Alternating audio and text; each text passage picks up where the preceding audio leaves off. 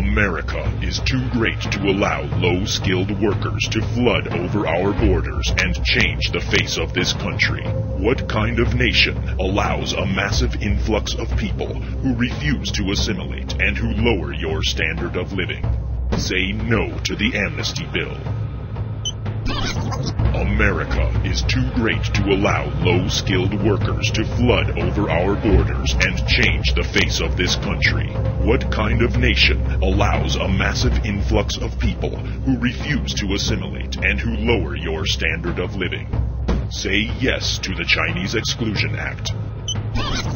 America is too great to allow low skilled workers to flood over our borders and change the face of this country. What kind of nation allows a massive influx of people who refuse to assimilate and who lower your standard of living? Say no to the Irish hordes. What kind of nation allows a massive influx of people who refuse to assimilate and who lower your standard of living? Say no to the Jamestown settlement. White man go home.